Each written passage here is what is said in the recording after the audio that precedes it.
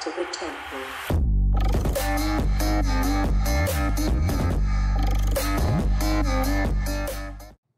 Hello everyone, welcome to the video. It's going to be a tutorial on three things.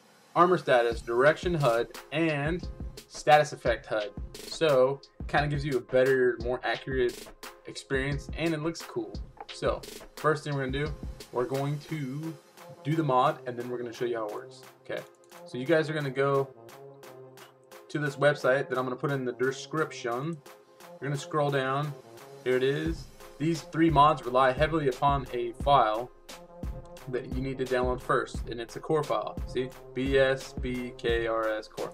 Okay, so you download that. This works for 1.8 on mod or legit. So I click that link, and now I'm gonna wait for this curse page to load. It's down here. If you have Chrome, Chrome will try to block it. Just keep it. Uh, it's a jar file, so supposedly JavaScript is really dangerous and can be like computers and stuff like that. If you're afraid of getting your computer infected, just watch a different video. Okay, so I downloaded the core. Now I'm gonna scroll down. I'm gonna open up uh, this guy right here, and then I'm gonna scroll down, and it says latest, right? And it says mirror. It says all releases mirror. So I'm gonna click download for 1.8. It's gonna pull up another screen.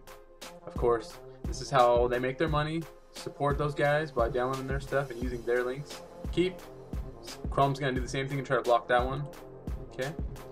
Then you're going to scroll down a little bit further, get your direction HUD. Same thing, direction HUD, orange button, download for 1.8. Loads the curse page. There it is. Keep.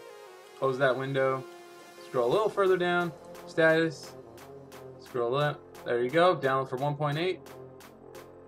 Curse. You know what's funny? I actually got denied a partnership with Curse. So, yeah. Closed all those. Boom. So, if you're like me, all those in your Chrome, they all went to your downloads folder. So, drag this over, downloads, here they are. You're gonna have four files, right? In your guys' case, you're gonna grab these four files, you're gonna copy them, you're gonna put them on your desktop because it's just better for your brain. okay?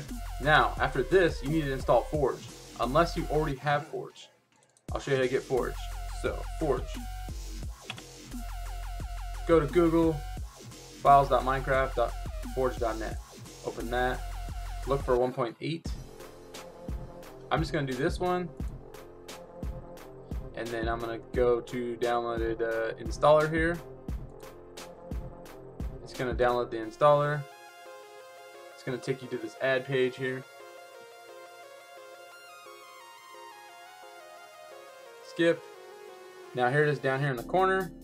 Keep that file as well. Click on it. It's to pop up a little window. Install client. Click OK. It does all this. Successfully installed. That's how easy installing Forge is. Now, if you install Forge properly and you go to Minecraft, you're going to have a mods folder. See, so for your guys' sake, this is percent app data percent. Okay, dot Minecraft mods right here. So, now you have the mods folder open and you have your four jar files on the desktop. Grab all those, right click, copy, and you're going to paste them in here. I'm not going to over paste or paste on top because I already have all four files here and they're the exact same files. So, we're to close that and we're to cross our fingers and we're to open this crack launcher. Now, make sure down here in version, you're down here at 1.8 Forge, okay? If you're on 1.8 regular up here, it's not to play your mods, okay? So to change this, edit profile, then you change this version right here. I don't need to because I already did it.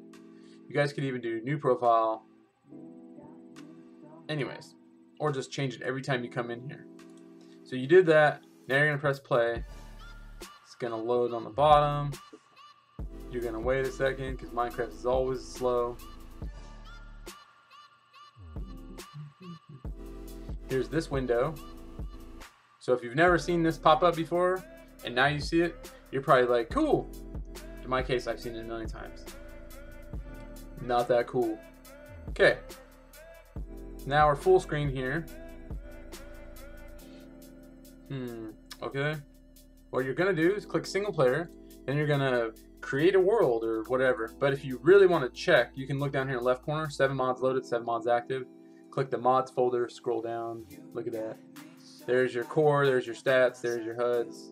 Boom. Single player, select this new world or old world or whatever you want. Right off the bat, you guys can notice some changes. Top of the screen here shows north, south, east, west. Watch. All right, that's freaking awesome. And if you look down here in the corner of the you know screen, you got all these things that you never had before: helmet, shield, all that. So if you're looking, you want to go in there just for fun, you can take these out and see it without. See? you're just nothing, buddy. Put that in there. That's what you got. Now you can also do something else that's really cool. You can locate your, uh, you know, uh, enchantments or um, specials or potions, whatever you guys call them. Whatever the hip word is. So you locate them. Hmm. I don't know if it works on books. I've never tested it, but it possibly does. Anyways, so here's this. We're just grabbing random stuff. And then we're gonna look at that. We got strength here, right? And we got potion of regen. Bam. Now we can see all this stuff on the right hand side of the screen, like indications of what's going on. So that's pretty cool. And of course, when you take damage, your points drop in the left hand corner. You guys want to see it? Let's see it. What shall we do? We shall do something fun. Get this video over with a bang.